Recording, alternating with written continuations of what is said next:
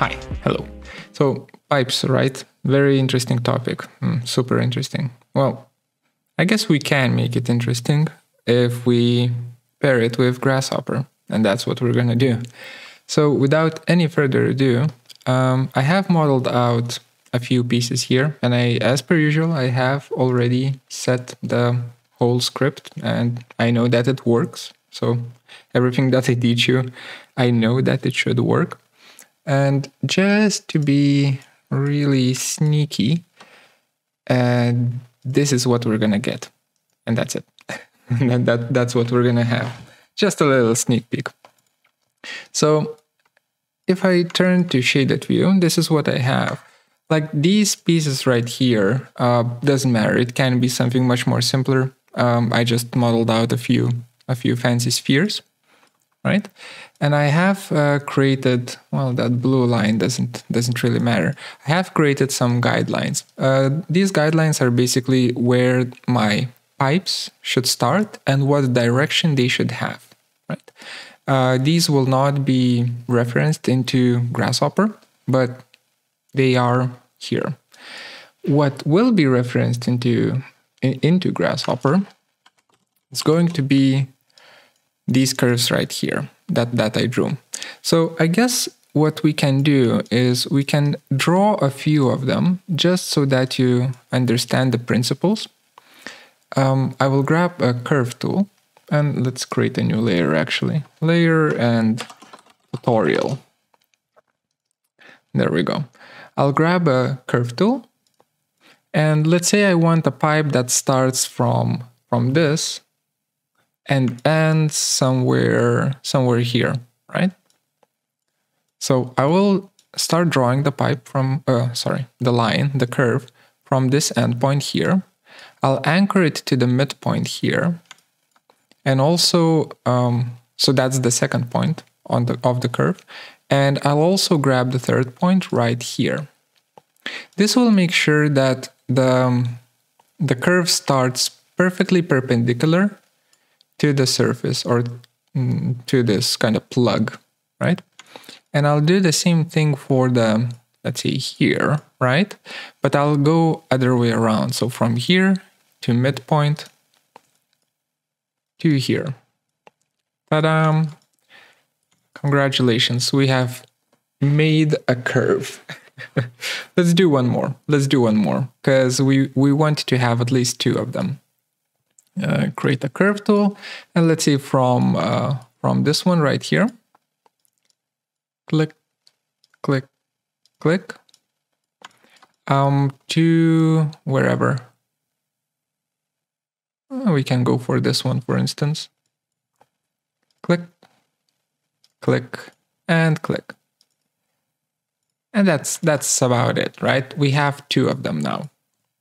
Yay now I'm going in Grasshopper, I'm going to create the curve component. Like so. Oh, and let's do bifocals. You guys love bifocals. Okay, so I'll have a curve component, set multiple, and I'll just set set both of them up, right?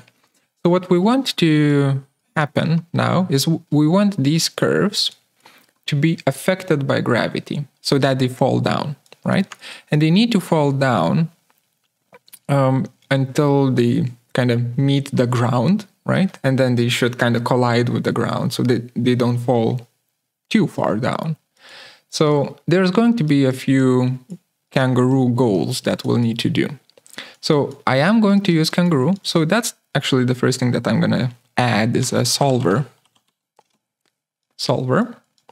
And as per usual, uh, for the solver, you have, uh, let's expand this, uh, you have a toggle, boolean toggle, to be able to turn it on or off, a button to be able to reset it, so to reset the simulation.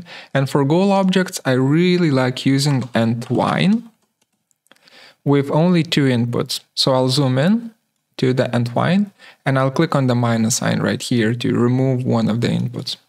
By the way, this tutorial is for intermediate users, so I assume you kind of understand Grasshopper at least a little bit uh, to be able to follow this. I will not be explaining the simplest of things here.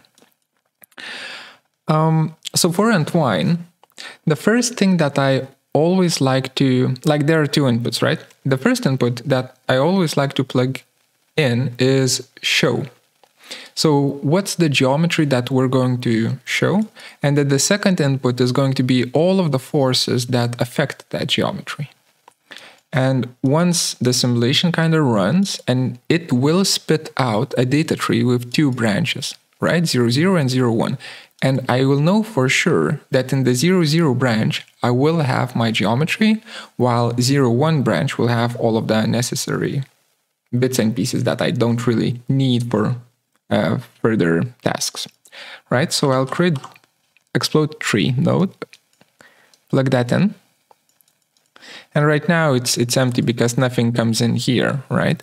So, but once stuff will go out of here, uh, sorry, once I plug in stuff here, there is going to be data that's going to move out here. And I know that the first branch is going to be where my geometry is. And I believe we will have a curve as an output, or rather not one curve, but two curves, right? This one and this one. Both of them will be simulated and fallen on the ground. All right, so that's our kind of simulation setup. Let's start actually creating goals. First goal, show, my favorite. The show goal, once I connected, this is red because show doesn't actually show anything, so it's freaking out. Uh, the show goal uh, should give us, hmm, we could immediately connect curves to the show goal, but I don't think that's a good idea. I think it's a much better idea to rebuild the curves as polylines, right? So I will say um, let's divide up let's divide up the curve into some amount of points. And through those points we create two polylines right? Uh, like two sets of points equals two polylines polyline. There we go. Connect it and then connect this to show as you can see, like the the the the, the line, the, the connection here is dashed. That means that we have two data branches going on. And I don't think we need that. Let me double check. Yes, we do not need that. So I will right click on the polyline output and choose flatten so that everything is in one list. Now you can see we just made it into a polyline. Question is, what's the resolution that we're going to be using, right? Because right now, um, doesn't matter what's the length of the curve, all of them will have the same amount of points, right? Which is 10 divisions equals 11 points. Um, no, I want to divide them according to length, but kind of approximately according to length. So what I'll do is I'll measure the length of the curves, right? So I have my length and I can then take the length and divide it by desired uh, segment desired segment length, right? So we can do like 2 for instance here and then I get some numbers. And these are not full numbers we don't care. Uh, when we plug plug them into the count uh, they will become full numbers either way right? So we get those I'll just hit reset to, to clean it up a bit. And now in between my points here, my polyline segments, I have two millimeters of, of a gap, around two millimeters of a gap. We can do even, even more, like one millimeter of a gap. There we go. Right? Okay, so we have that. Uh, let's disable this. That's our polyline. And actually, let's move everything to the, to the right a little bit. That's our polyline. Right now, our simulation is not doing much. It's just showing the polyline to us, which is fine, but we kind of wanted to do a little bit more. Um, actually, let's not hide that. So I want to add, for instance, gravity to the whole calculation, right? So, or a gravity goal. So I will use a goal called load, which asks me to give it a bunch of points uh, that will be affected by certain uh, force, force vector. Let me double check. Yes, that is correct. Uh, so all of the points that we will be affecting is are located right here, right? In our divide point. So they connect like that. So every single point will receive some sort of a force that's pulling it, a gravity force. Uh, the, the direction of the force is going to be z, right? Upwards, but actually downwards. So it's going to be negative, negative z. And the strength of it, I will use something pretty low, like 0.11, uh, probably even less, 0.01? No, let's try let's try 0.11. If it's too much, then we will we will calibrate. So a pretty low force for gravity. We take the loads, we connect them to the entwine. Uh, you can see that again, this is dashed. I don't like it when it's dashed. So I'm going to right click on the P input of the load and choose to flatten it so that all of the points arrive as a single list and then um, get parsed to entwine also as a single goal list. So that is our second goal. I'm just kind of grouping the goals so that I, at least visually you can see. Okay, now if I run this simulation, you can see that it's running and it's actually falling down. Um, right now it's fallen way, way, way far, far, far away. Um, but it is kind of working. It's just that the curves are affected by gravity and just they just keep falling, right? And they do that really, really fast. So we can't really even see them falling. We need to fix that. So to fix it, uh, we will use anchor an anchor node. And the anchor node will lock in certain points of the curves so that they don't, those points don't fall. If that makes sense. They, they kind of lock the curves in place. So which points? Well, actually, actually, for uh, every curve, I want, let's say one, two, three, first three points to be locked, right? And also I want last where are they? Last three points to be locked. How do we do that? Well, we do that with indices, right? We know that um, here we have two lists of, of points, right? So I can say list item, list item, connect it like that. And if I say, let's just create a panel and let's just write them in the panel. If I want my first point, it's going to be index zero. If I want my second point, it's going to be index 1. If I want my third point, it's going to be index, oops, index 2, right? That's easy.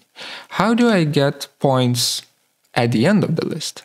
So if I want to have the last point, it's going to be index minus 1 because it goes back backwards, right? So if, if you pass 0 and you move backwards even more, you end up at the end of the list, right? So minus 1, then minus 2, and minus 3. That, that is us working backwards. How do we automate this? Well, we can do that with series, right? With series of numbers. And we can start uh, say that we start counting from zero. That's fine. We and we count like every one number, zero, one, two, three, and so on. And how many times do we count? Uh, we count three times, right? Like that. So if I check what, what's the output here, 0, 1, 2. Perfect, we have half of it. Now I will create another series node and I will say that we start counting from dash dash minus 1. Um, dash dash minus 1 just creates a panel that's minus 1. Um, so we start counting from minus 1. And with every step, we remove 1 right? So we count backwards. So actually the step size or step is also minus one. And the count number or how many times we count is also 3, like that. Bam, check it out, minus one, two, three. Okay, we have these two. Then I can merge, merge them together into one big happy family, right? And connect that to our list item index. Now if I check, I can see that I have three points here, three points here, and so on, right? In the in the in the back as well. One, two, three, and one, two, three. Great. Now with this, I can control.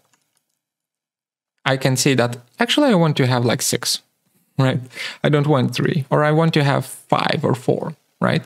So I can control um, how many points are being completely anchored to um, completely anchored from any kind of influence from uh, external uh, loads or, or like gravity and so on. Okay, we have that. Uh, I will right click on the output of list item and I'll flatten it because now all of the points can come out as one single list and I'll plug that into the into the anchor node right here and holding down the shift key, plug in the anchor to the entwine. Yay, that's our eh, third goal, right? Locking th things in place. If now I reset and run the simulation, you can see that, well, let's stop it. you can see that they are indeed doing the thing. It's just like they are locking the curves in place. It's just that the curves are infinitely stretchy, so they just stretch out like crazy. So we need to somehow fix that, right? To fix it, we need one more goal. That is called rod. Bending rod, which will ask us for a polyline. We do have uh, two polylines here, right? So I'll connect the polyline tool to the rod polyline input like that. And then we just holding down the shift key connect it to the 0, 1. And you can see that it becomes uh, grafted. No, no, no, no, no. We don't want it grafted. So we'll flatten it, just like that. Reset, run. Wablamo. there it is, right? Works. How can we control the stiffness of this? Well, that's the axial strength, uh, axial strength and bending strength, right? I can do like 50 for the strength so that you can see how they work, right? That's 100 and that's pretty droopy with 2. Right? So let's let's actually keep it at 100. I, I like the, the the bendiness of it. Right?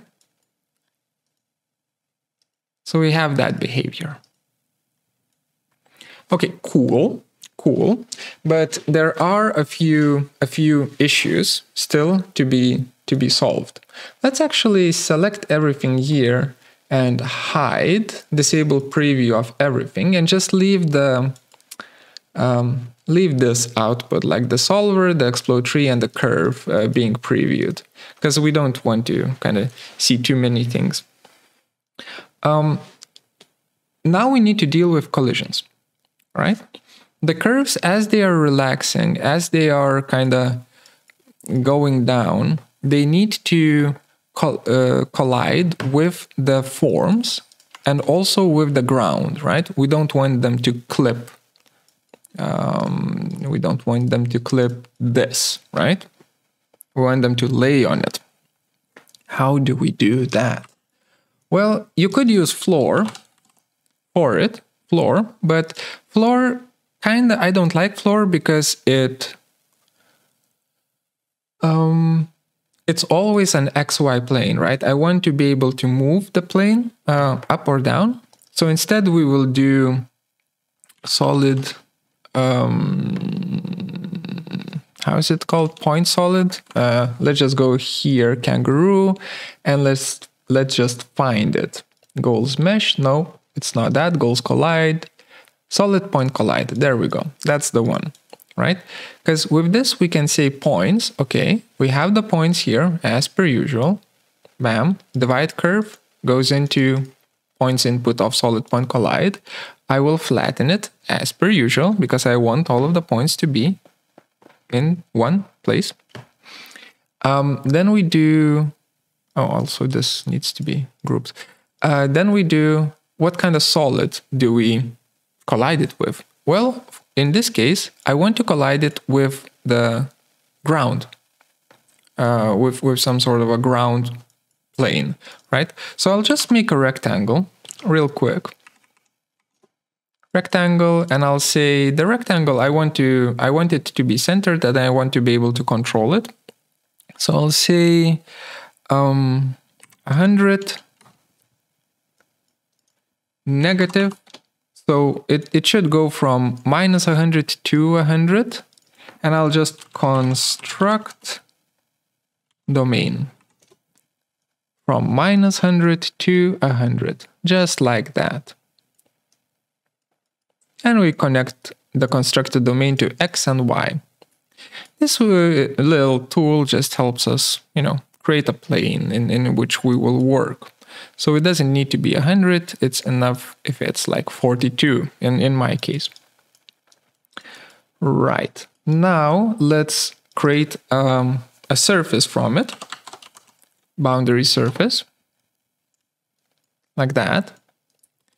And let's just extrude. Let's just extrude the surface along the z direction negative. So it's basically downwards by, I don't know, like 10. Eh, just any kind of thickness that you want to give it. 10 is fine. So we have a box, basically. Yay, this thing makes a box. uh, with this surface, or with this extrusion, um, I can I can use it as my solid collide, and you can see if I connect it to the 0, 1 input, then, and, and run it again, reset. Then my curves collide with the box. There is a problem. And the problem is that if I look at the curves as if they were pipes, right? Pipes, or rather let's let's not do this because this is very like you, you usually don't want to deal with polylines uh, and piping. So let's do discontinuity first on the curves get all of the points basically out of them and then create a NURBS curve create a NURBS curve through through the points like that.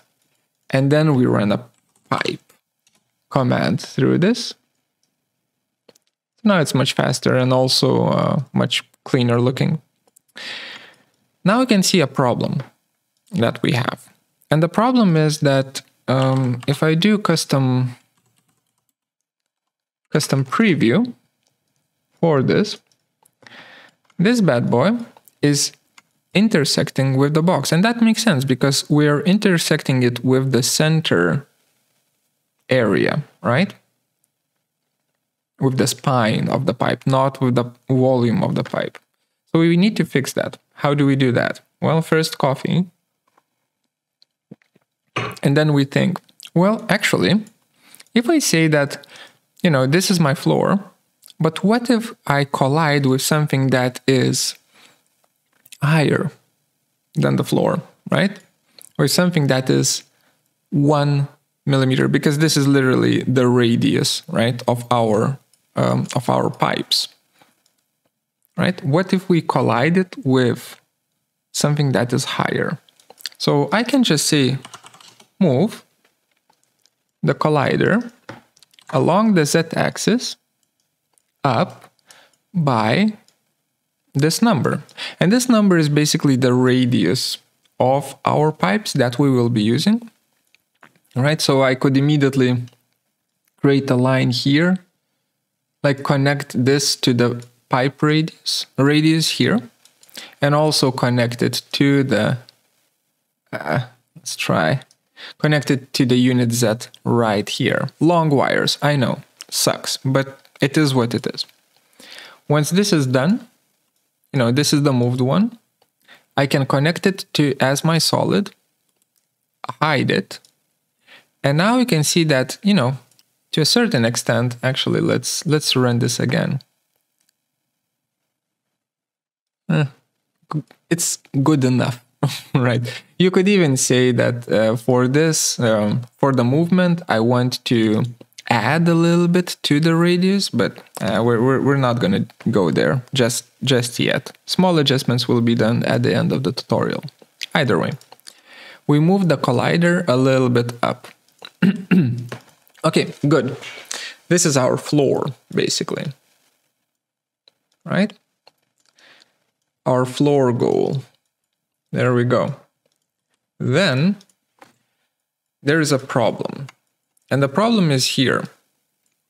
And actually, let's make the problem more apparent by doing this. The curves are intersecting each other, right? We don't want that. We want the curves to fall on each other really nicely in a pretty way. Uh, so we need uh, one more goal. Yep. It's going to be two more goals and we're done, I promise. Um, the goal that we're going to be using is called sphere collide. Um, no, it's not. It's under goals collision. Yeah, it is sphere collide. I don't know why it didn't show me. Sphere collide asks us for points and asks us for radius. And I can visually show you that by using mesh uh, sphere tool. You don't need to follow this, but if I use mesh sphere tool and I apply it as a radius, you can see that we, along the curve, uh, apply one as a radius. You can see that along the curve, we are creating a bunch of spheres that will be colliding each other. And yes, uh, when we run the simulation, the curves will expand, right? Because the spheres are colliding heavily here, but that's fine. That is absolutely fine. What we care about is the that these spheres collide with these spheres. Right? So, with that said, I will go for sphere collide tool. Uh, I will connect my divide curve point output. Oh, you can't see it.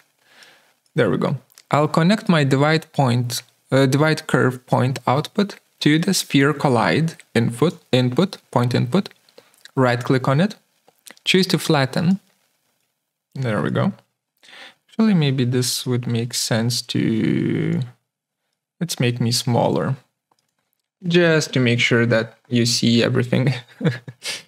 um, so now I have a bunch of points and we will be creating these spheres around them with a certain radius. What's the radius?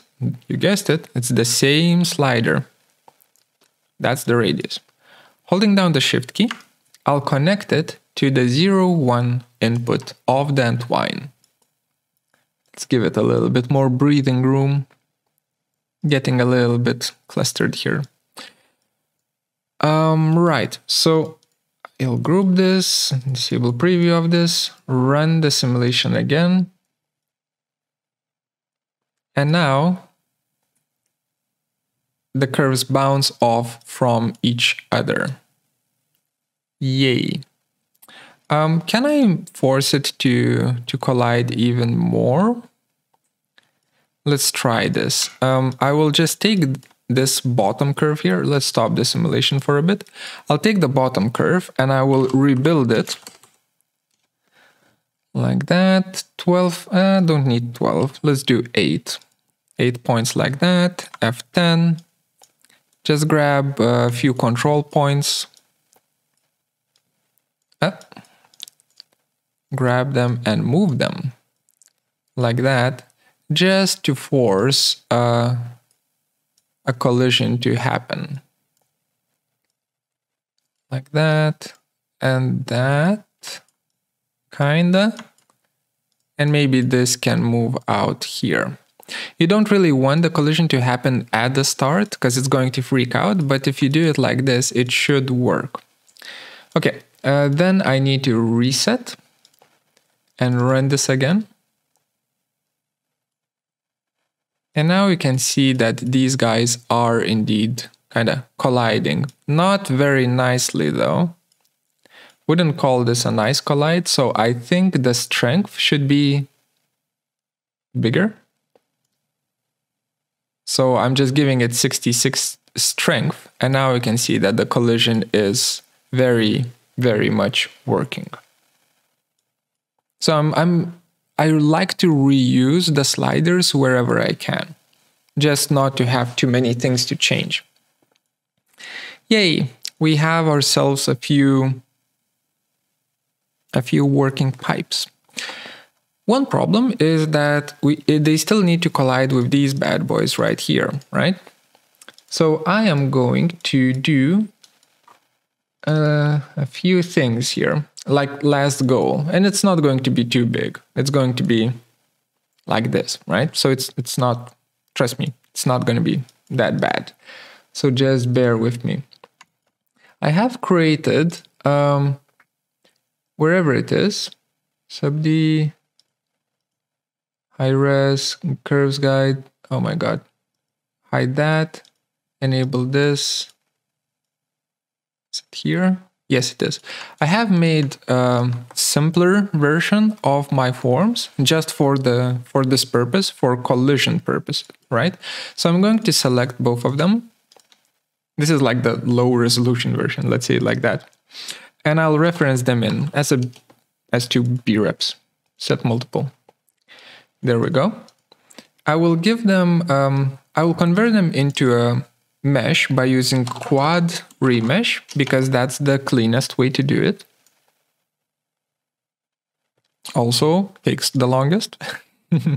quad remesh.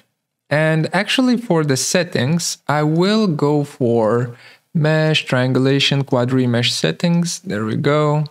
I'll, and I will use um, even lower polygon count, desired uh, polygon count. 500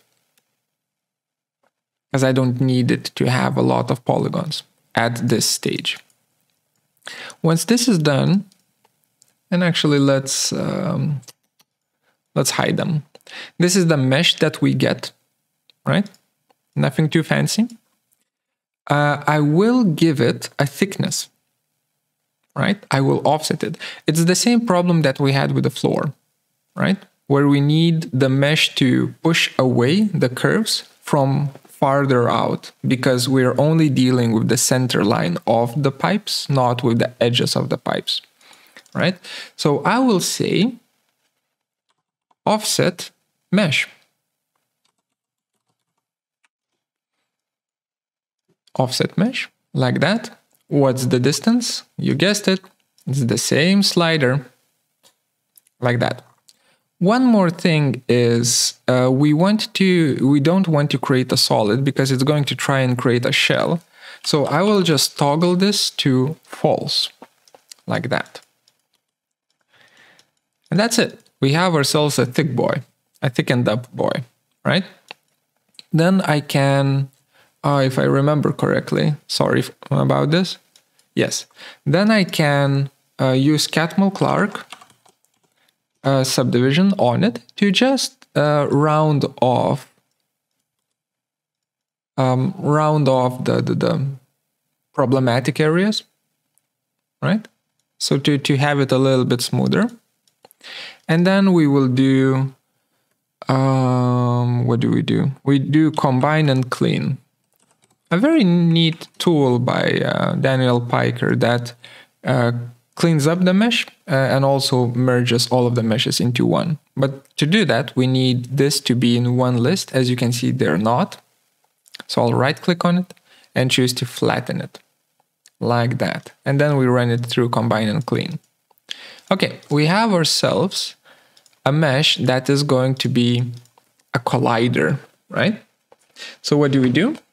Well, we use the same technique that we used here, solid point collide. I will even copy and paste this solid point collide to here, and I'll just use this as my solid. Technically, I could just attach it like that, right? Like this. But uh, whatever, I'll, I'll just use a separate goal just so that it's uh, visually um, easier to understand what's going on. And this is our last goal that of course we need to connect like that, holding down the shift key again, reset the simulation, run the simulation, and you can see that, um, well, that happened very quickly. Sorry. Uh, that happened very quickly, but you could see it um, sliding like that. Right? That that's what we were after. This behavior. Okay. So we have that going on. Uh, this is intersecting, by the way. Sure. Uh, I guess we can just use a higher strength here to, to make it not intersect. So it's being pushed away a bit, uh, even higher strength. Not sure if I want to use anything that's even higher than that. Let's see. Does it bounce? Yeah, kind of bounces, but not really. Uh, we will we will be fixing that later if I remember to. But all in all, it does it does work, kinda. Okay, so this is our um, kangaroo setup. Now I do have, let me delete these. I do have the curves already, oops, already set up here, like that. So I could just kind of select them, well, not you, select them and just run them through here, set multiple, reset, run. And you can see that the, the squiggly bits are going to fall, fall in place just nicely. Just nicely, come on. So we could say that the tutorial here is finished, but there's kind of a few things that I want to um, that I want to talk about right? First thing is variation in, in the width of the curves. And second one is how do we make them nicer? so making them nicer is going to be like the last part of the tutorial, but variation. Well, God damn it, the, the coffee is just, just too good. just too good. So Unfortunately, with this particular definition, you can't have variable widths uh, to the curves, but what you can do is you can, for instance, say, oops, let's stop that, stop that, stop that, cancel that, stop that. There we go. Uh, you could say that, well, this boy, this curve right here needs to be thicker, right? So I can say that, okay, I will get only this curve, set one curve, only this one, no other, right? And I, for this one, I will say the thickness of it should be 3. Right? So a pretty damn thick boy. Like that. And then I can say reset, run this, flip, just plops itself on the on the ground, right? Cool. Uh, with this, I can also control the gravity so make it plop a bit more. Then it starts intersecting here a little bit. That's fine. Um, we can do like, I wonder if whatever this is, 100,000 will, will help it. 100,000 starts freak, making this, these areas freak out because it starts fighting the anchor points. So I'm not actually going to do that. I will keep it as it is. We will not show that area, that, that weird area there. Or even better, I could say the bending strength is lower. Oh, that, that's, that's even worse. So the bending strength does need to be higher. And we just have it like that. Actually said that, it does need to intersect, doesn't it? It should intersect because we're, oh my god, I'm, I'm stupid. We are dealing with just the points running through the middle, right? So of course the pipe will intersect. What am I saying? Okay. So we do this. So it's a little bit more of a floppy boy, right? Uh, we have ourselves a little bit stronger gravity, maybe not that strong. And what we need to do is we need to check the collisions with the originals, right? With these. And when we do, we see that it's actually not even touching it, right? Because we have offsetted it. So it's actually fine. Oops, that, that was my bad. Whoopsie. Anyway, uh, by the end of it, we will have a curve here that we will be able to work with, right? A simulated curve. So I'm going to take this curve, um, I'm sorry, a, a curve that we get here, NURBS curve, and I will bake it out. Bake. And I'll bake it out to baked curves layer, like that. There we go. And then I will clear values. So if I check my baked curves layer, you can see that I have actually two of them, right? Uh, this is from the example and this one is from the tutorial. So in this case, I will be using the one from the tutorial just to keep things in place, right? Um, so here we want all of the curves, all of the pipes, future pipes that will fall to also react and fall onto the baked one, right? Onto the thick boy. So what, what do I do? Well, here I can just say, do we even need to quad remesh it? I don't think we do, do we? Oh no, I, I do need to quad remesh it because we're going to offset it, right? So I will take this curve, reference it in, set one curve. That's that's the simulated one, right? The one that fell down. I will create a pipe around it.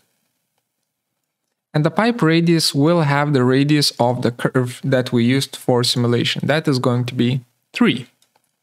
Okay. 3. Connected like that. So we have our thick boy again. And I do want it to be closed. So the end caps, I'll right click on that and choose flat like that. So it's a closed pipe. Then what I can do is just simply holding down the shift key, connect it to the quad remesh input, M input of quad remesh. It's going to freak out for a little bit because it needs to recalculate the quad remesh. Still calculating, there we go, it's done. And now if I check with Catmull-Clark subdivision, I can see my collision geometry now incorporates the curve, right? The, the, the thick boy. So now for all of the other pipes, um, how do we do that quickly? The answer is we don't. We just select all of them and then we will unselect the central one like that and we unselect the the one which we use to simulate the thick boy right? So we have our five pipes right click set multiple curves and then they they do this. We don't want them to be that thick though. Uh, so i will reset them to one thickness of one and just we need to reset the simulation as well like that and now they just kind of vomit themselves onto the um, onto the geometry. If I stop the simulation now, you can see that the pipes they sink into the geometry, and that is because we have uh, a pretty high gravity, uh, and also everything else has a pretty low um, low strength, right? So we need to calibrate this. And I don't really remember. So uh, what kind of mm, what values I used? So I'll, I'll double check. 100 for those, 0.1 for that, uh, one for that. Yeah, okay. So we use 100 for bending strength, and we use 0.1 for the gravity. I assume I should use even lower, but sure, whatever. We'll, we'll use that. And here uh, we all, are already using a thousand, so that's fine. Reset, run the simulation. Should kind of work.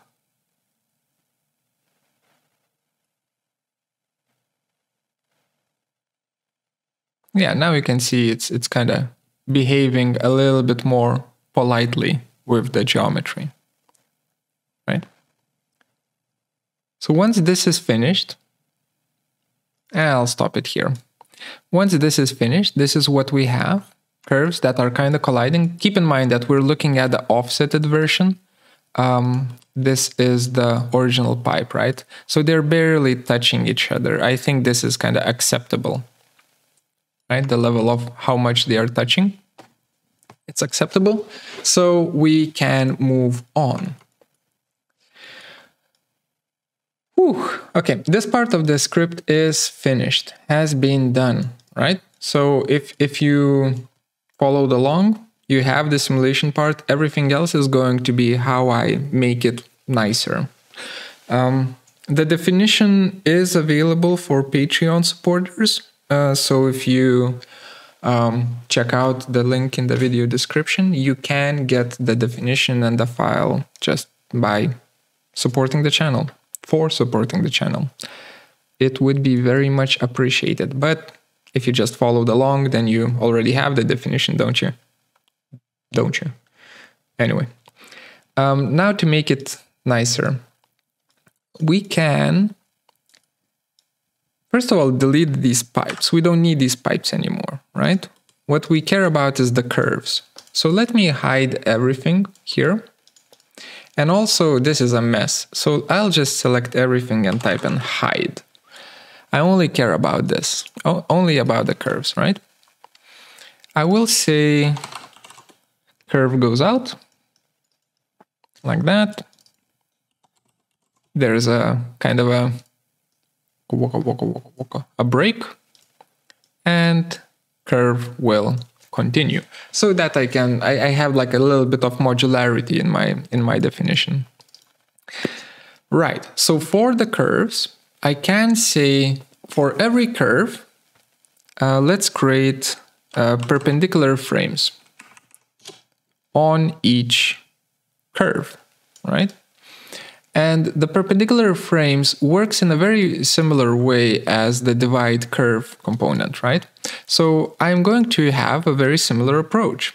Uh, I will measure the line length, no, um, length, just length of the curve, right? I will divide it by my desired um, length of the segment. Apologies. Um, I don't remember what I used. Double checking two. I used two. Okay. Two. Great. And then I will use that as my division counter for perpendicular frames on the curve. So I know that between these planes, I have two. By the way, if the planes are way too big for you, display, preview plane size, and change this here to, in my case, it's three. All right, so we have a bunch of planes. What now? well, now on them, I can say um, polygon. I can create a polygon on them, right?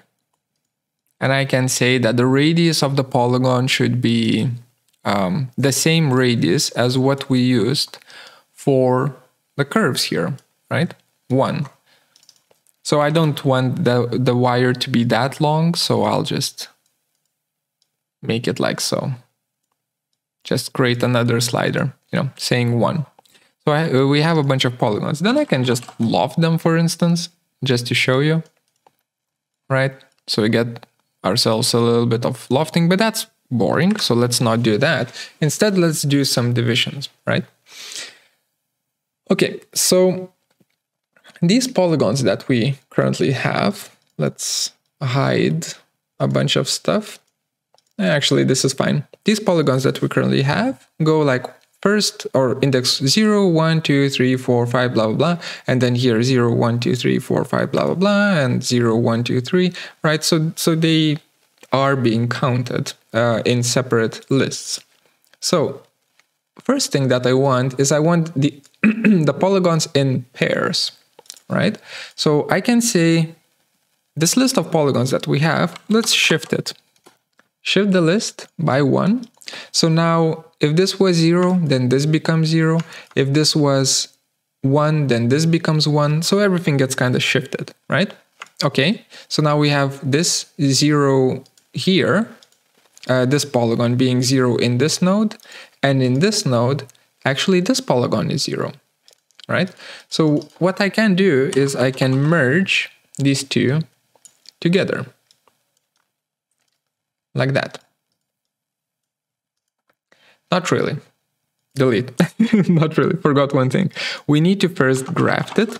And I will not be explaining the the reason why we or what graft actually does because again, I assume you are intermediate level learners. Um, we do need to graft them though. We need to separate them into separate lists so that later or now we can merge them. Um, this makes it so, or rather doesn't make it so, because we need to right click, simplify, just to make sure that the, the data trees match. So we simplify both outputs of the graft tree. And this makes it so then that we have pairs of curves. The only problematic pair that we will have is the one that's um, that's here right at the start, right? Because if this gets shifted to here, so zero gets shifted to here, this becomes minus one, meaning that a pair of this polygon is actually the polygon at the end of this curve, right? So it kind of cr creates an infinite loop that way. We don't want that. So for shift list, for the wrap, I will say toggle false. So it doesn't wrap it. So then what happens is one element in each or one data branch is always going to, for each curve is always going to have only one polygon left because we're shifting the other one out of existence, right? So we need to clean clean up the tree. And I can do that in multiple ways, but the, the, the fastest one, or probably not, probably not the fastest one, I'm lying to you. The one that I know, the one that I know is if you take tree statistics like that, right? Here under length, it's going to say how many elements each data branch has. And you can ask, okay, is it larger uh, or rather, is it smaller um, than 2? Right? And if it's smaller than 2, then uh, use the answer to cull the paths. Right? And what we get from it is we get the, the branches, the paths, that have a, only one element in them, or any amount of elements that's less than 2. Okay, good. Not really, because we need to um, have it opposite, right? We don't care about the ones that have one element in them, we care about every other one, right? So I'm going to right click on the P input and choose to invert. So now we remove all of the branches that have one. Well, we remove all the paths. Then with the new paths, I can say tree branch and I can extract from this data tree only the branches that have um, two elements in them, like so. Yay! Um, if I were to check it out now, so brother, um, I could just loft And I can see that now pairs are being lofted. So all of these are separate um, polysurfaces now, right? Rings of polysurfaces. Great, this works. A little bit of a problem though. And that little problem is called 285 milliseconds for lofting. That is um, uh, not not so uh, not so fast type of a problem, right? Uh, it's I, I don't like it. I want it faster. Uh, and if we want it faster, we need to build our own little approach, and we will build our own little approach using meshes and using meshing. So let's not do loft, but instead let's uh, we will create like a cluster that we will use, which is going to be basically mesh loft. Before that, before that, I kind of want to figure out um, a, a, concept, an idea of what am I doing within these um, partitions, right? So my idea is um, if we have one polygon here, let's see this polygon, and one polygon here, then what I want to happen, and let's say third polygon here, just to make it nicer. What I want to happen is I want um, a larger polygon here, larger polygon here, here, and here, and these get lofted this way, lofted this way, and then we have a loft here, a loft here and so on. Right? So in between these, I, I want to have two larger polygons. And let's just find, let's say this is going to be our test area, these two, right? So this and this. So what I want to create are these two larger ones, larger boys. Okay, how do we do that? We do that with tween curve which asks us for two inputs and a factor. Okay, here we have two elements in each branch, so I can easily do list length or list item. Right? That's uh, the first element in the list. That's the second element in the list. You know, first, second, connect, connect, and since the factor is 0.5, it gives me a polygon right in the middle. I don't want that. I want the polygons to be pretty close to the ends, right? So I will create a panel which says 0.1, uh, enter 0.9. So one that is 10% of the way from here to here, so somewhere here, and the other one that is 90%, so somewhere here. Connect that, it's gonna freak out. And it's freaking out because it says data conversion field from text to number. That's because here we're using two numbers in two separate lines and it doesn't understand that these are two separate lines. So what I need to do is right click and choose multi-line data to turn it off, right? Then it's going to place them into separate lines and voila, now we have successfully created this polygon here and this polygon here. We're getting there. We're getting there. Now between these polygons, between these two, I will create a loft, right? And again, if I just do loft, 289 milliseconds, very slow. Very, very not good. Very bad. Very, very bad. So we're not doing that. Instead, we're, we're going to be creating our own little script. I need to remember. Yeah, that's fine. Um, so our script is going to explode, or rather, let's just do curve. Curve input like that. It's going to explode these polygons. And let's hide actually everything else from here. We're just looking at these two, right? It's going to explode them so that we have segments. And then we will do some uh, data tree shenanigans. So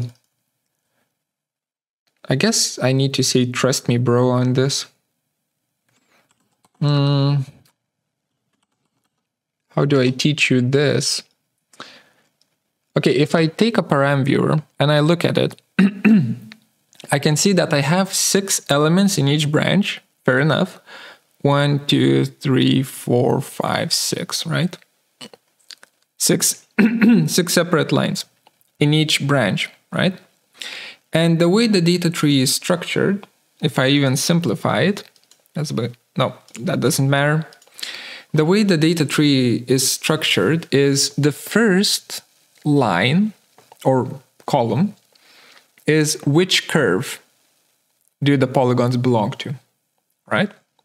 So it, since we have five of them, the last number is going to be four, right? Because we start counting from zero. Okay, that's easy. The second one, the second number is which um, segment, which segment does the mm, did these polygons belong to, right? So each curve has like this is let's say segment number 10, segment number 11, segment number 12, and so on, right? So each curve has a varying number of segments. Okay. And third one is which polygon within that segment does the line belong to, right? So polygon 1, polygon 2. So it's always 0, 1, 0, 1, 0, 1, 0, 1 because we, we're dealing with pairs. What I want to do is I want to take this line and this line and put them in the same branch. Then this line and this line and put them in the same branch. How do I do that? Well, well, we do that with a path mapper where I'm just going to say, let's connect it, and I'm going to say reverse mapping, that doesn't really matter. Right click, reverse mapping, um, expand it. You can see that it has a bunch of stuff written there, doesn't matter. And I will just say source and target are the same right now. So it's not doing anything, right? And this is basically um, number corresponding to the curves, right? The first one the second one, and the third one, and the indices. So what do we do? We shift them around A, B, Y, and then instead of Y, we use C. So it's like flip, flipped, right? Once this is done, and I check it out, um, path, no, not, not path mapper, mapper um, param viewer. By checking them out now, I have pairs. And these pairs are literally this line and this line. Then this line and this line, right?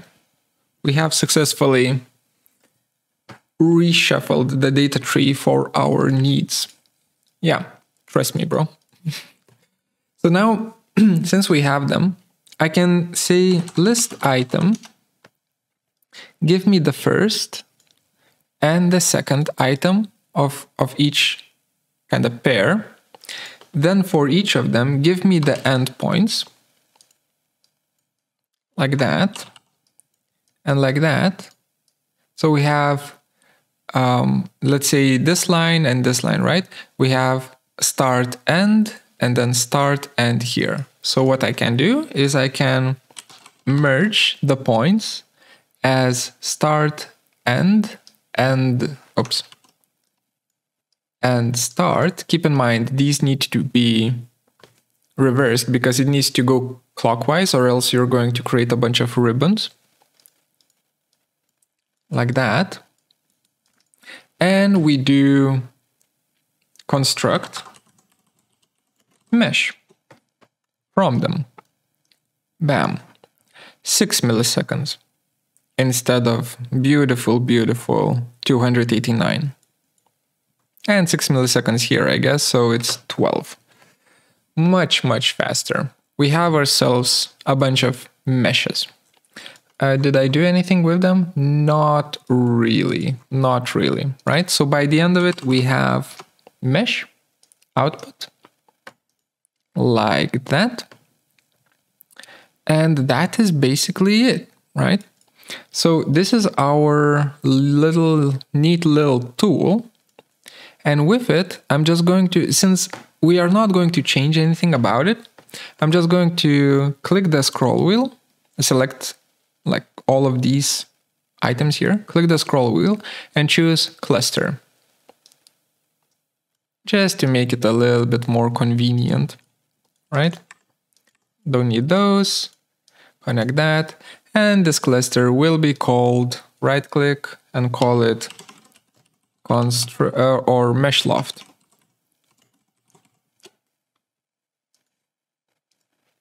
Why don't you just, hello, change this? anyway, we know that this is mesh loft. Okay, so this little tool will, will help us quite a bit. So now we have these segments here, but I still need to have the segments in between and also to have like um, segments filling in the gaps here and here. How do we do that? Well, I need to scale these tweened curves down, right? So I'm going to say scale, polygon center, like that, and scale them towards the center of themselves uh, by a factor of 0.9, let's say. Bam just ever so slightly. We can do even less, like 0.8. Let's let's go drastic with this. Right, 0.8. Okay, so we have our scaled uh, scaled curves now, and I will list item. I will extract, not extract them, but separate them out,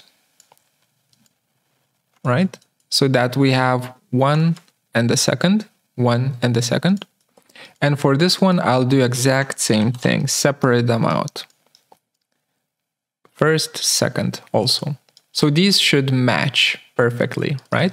So I can just say merge, bam, bam, like that. So now we have this pair, right? And then I can merge the ends as well. So we have this pair. Okay, we have done that. And now how do we love them? Well, glad you asked. Cluster, copy it in, and just creates a loft just like that. Cluster, copy it in. Come on, come on, you can do it. Just creates a cluster. Yay we have ourselves a little bit of a loft here. Now, last thing to do is we need to um, either we loft between these, which could be a way to go, but uh, I, I think it's better if we have more resolution. So I'll bring back this, you know, this list item here. I'll, I'll bring back this and I will scale it just the same way, or not even this, sorry, sorry, sorry, this. And I will scale them just the same way as, as how I scaled the um, these curves here, right? With this. I'll just copy paste. Actually, we will use the same factor, so I'll reuse the same slider. And then from tree branch, I will just connect it to the G input, uh, G input to, of the scale, and tree branch goes into polygon center. So we're initially just scaling this bad boy down to 0.8 of its size, right? List item, again, bam, both of them, you know, both ends, good. Let's start hiding things because it's getting a little bit too convoluted. Like that. So we have um, we have the middle, and then here, probably here, yes, we have the where the curves that need to loft with the middle, right? So now we just need to figure out which pair is which. Uh, let's do let's do merge. Um, I believe i needs to merge with i, right? And plus 1 will merge with plus 1. That makes sense. Yes. So these merge together. And let's do one more merge. plus 1 with plus 1. Perfect. Now we do the lofty lofty, like that. And we do another lofty lofty like that. Success. Okay. We have ourselves a mesh. Well, we have a lot of meshes. We need to clean them up. Merge. Let's just get them all into one big happy family. Uh, let's just make sure that yeah, it seems like it. Uh, it's it's pretty clean. So they all exist in one one list. Now we can see that that list uh, needs to be trimmed down a little bit because right now it's all. Um, it's still we're still working within each segment. We don't want that. We want to work within each curve, right? So I'm going to use trim tree and just to make sure, I'll right click and choose simplify here, just to make sure that, you know, it's always clean.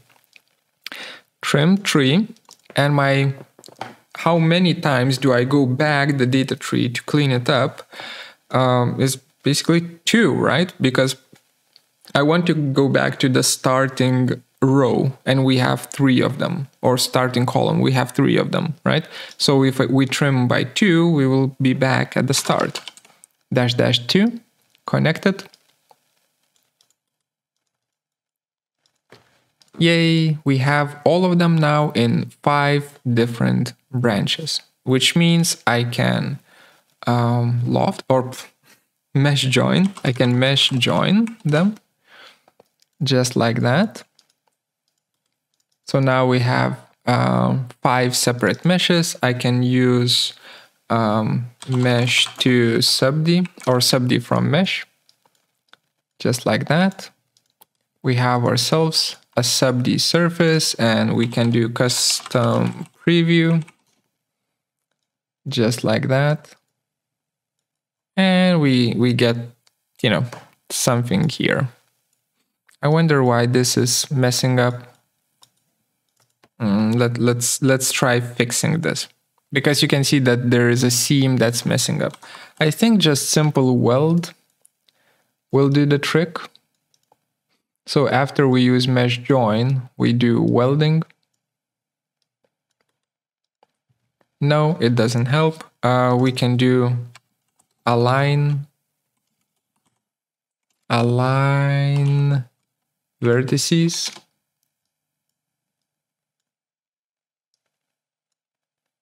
Yep, align vertices cleans it up. So there were like duplicate vertices in those places. That that's fine. Uh, we just clean it up with this. Uh, so we created something a little bit too blobby for my taste. So I want to somehow make it a little bit less blobby. How do we do that? Well, I can easily run a Catmull Clark subdivision. So basically, the more resolution uh, each polygon has, the better it's going to hold its shape uh, during the subdivision, subdivisioning. So after trim tree, I can apply uh, Catmull Clark on this, but I need to make sure that smooth naked edges here, I have it as fixed so that it's not moving the edges away. Connect that.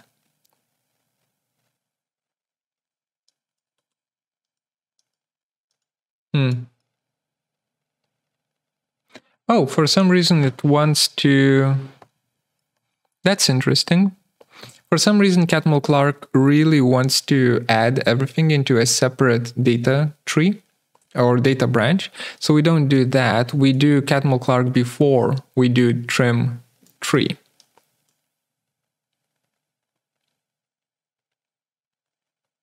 Which is going to force it into uh, it's it's also going to be a little bit messy.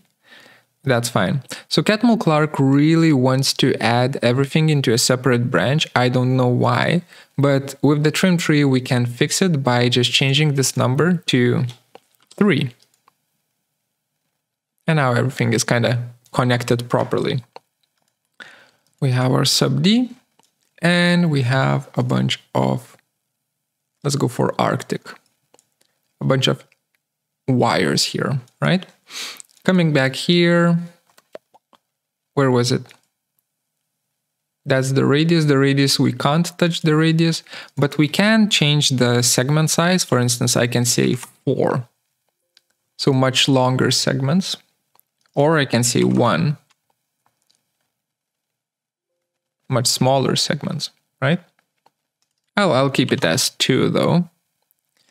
And one more thing that we can change is the proportion, right? So right now we're offsetting it by 10% uh, from both sides, and thus we're creating these gaps. So what happens if it's 0.01 and 0.99? So only 1%. Then the gaps, of course, are very, very small, right? So I'll use something like 0.05, uh, 0.03 and 97. There we go. Something like that. It's always going to freak out a little bit on these areas right here. Um, if you give it more resolution, uh, where is it? Let's go somewhere in between 1.5.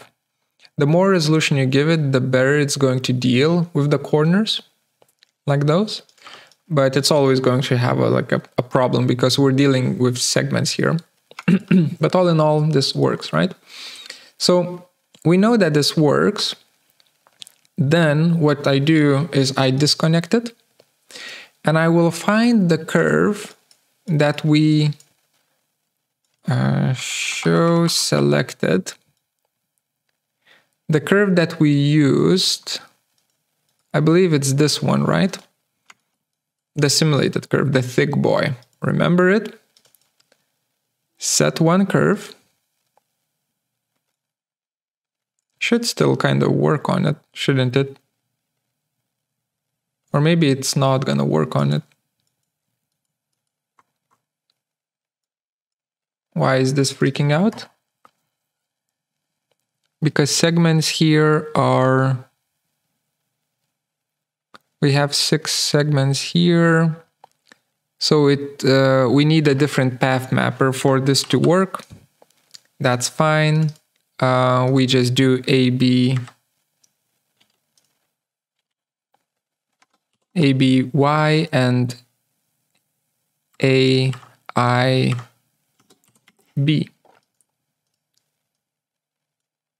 Like that. Save it. So that works. Then this one we need to fix or not? No, uh, we don't. We just need to reduce this to 2. So I'll just create a new um, panel saying 2. And that's it. By, by the end of it, we have the final output. Uh, we just need to now change the radius to 3 because that's, you know, how thick of a boy we had and this probably needs to change to also something like three or even more, four. You know, pretty thick. Once that is done, I just bake it out. Insert key, by the way. I reconnect my curves again. Now it's not going to work again, but that's fine. We already know what needs to be changed. These two are changed. So we have two versions. One version works on single curve and the other one works on large curves. Um, and then this needs to be three. Hide that. oh yeah, and of, of course the, the, the radius, the radius needs to be one. Those guys were very, very thick.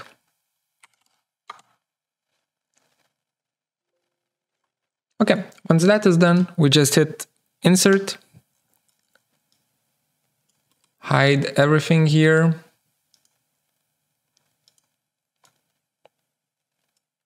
Nice.